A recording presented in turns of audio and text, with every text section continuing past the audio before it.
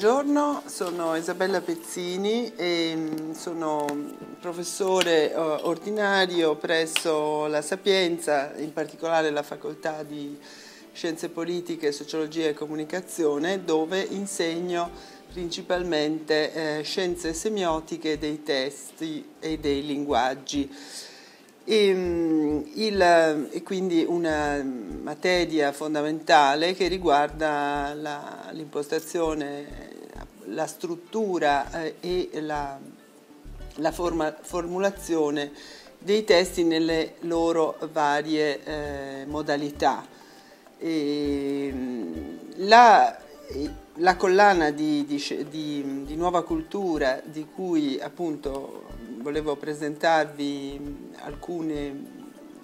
alcune caratteristiche, eh, nasce con degli obiettivi eh, diversi fra loro. Uh, un primo obiettivo è quello di eh, dar conto di, per esempio, delle ricerche che noi eh, portiamo avanti all'interno della, del nostro insegnamento e del nostro gruppo di ricerca e a questo proposito per esempio abbiamo pubblicato una ricerca proprio su Roma eh, che faceva parte di un, si intitola Roma, luoghi del consumo, consumi dei luoghi, e analisi semiotiche e sociolinguistiche, in particolare legata a tre luoghi, all'Arapacis, l'Auditorium e eh, l'Esquilino. E, e, in questo caso, ad esempio, si trattava di una ricerca, ricerca di carattere nazionale, quello che si chiamano i cosiddetti PRIN, che era molto difficile eh, pubblicare in, in, un'altra forma che non fosse stata questa, che appunto ci dà la possibilità di, avere, eh, di raccogliere i nostri materiali e eh, avere una, un risultato in termini di pubblicazione mh, mm, ben, ben articolato, ben fatto, anche se eh, la ricerca è piuttosto ampia. Un'altra,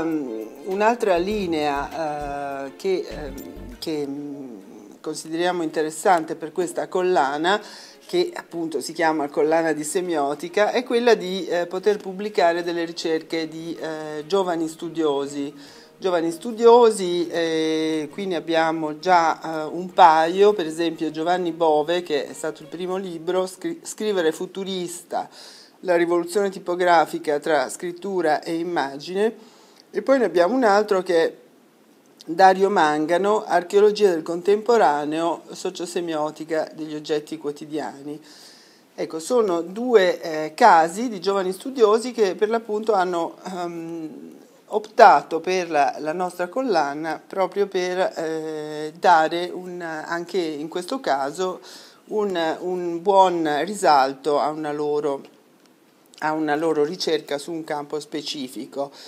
Poi eh, abbiamo pubblicato ancora un libro eh, costruito apposta, eh, cioè Mitologia dello Sport, 40 saggi brevi, a cura di tre giovani, ancora una volta Pierluigi Cervelli, Leonardo Romei e eh, Francisco Sedda,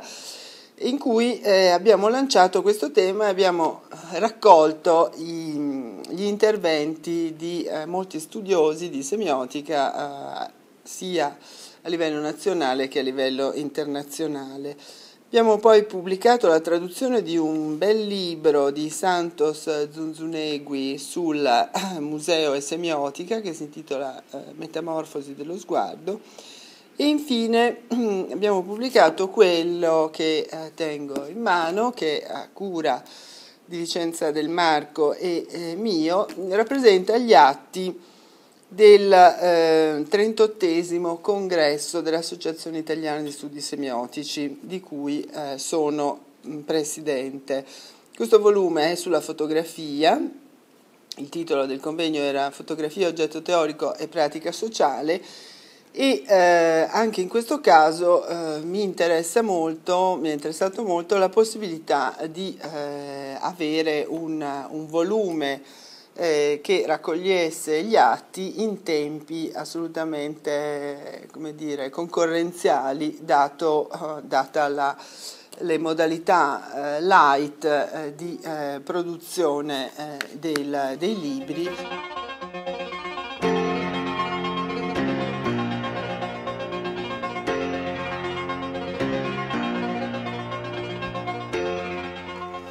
Ecco, naturalmente il limite di, di, di collane come, come, questa potrebbe eh, sembrare quello di ehm, essere un po' fatte in casa. In realtà eh, questo problema non c'è, nel senso che la collana è eh, composta ha un comitato scientifico un comitato scientifico che è piuttosto nutrito, abbiamo diversi ricercatori e anche eh, alcuni dei quali eh, sono professori, eh, al, uno Jorge Lozano è professore all'Università Complutense di Madrid e abbiamo anche Costantino Meder che invece ehm, è professore presso l'Università di Lovagno e la l'approvazione di un titolo e l'inserimento di un titolo nella collana passa appunto per un sistema di eh, revisione tra pari. Questo significa che la, la proposta anzitutto eh, viene vagliata eh, collegialmente, ma poi eh, in modo, eh, in, modo, anonimo si fa avere il, il testo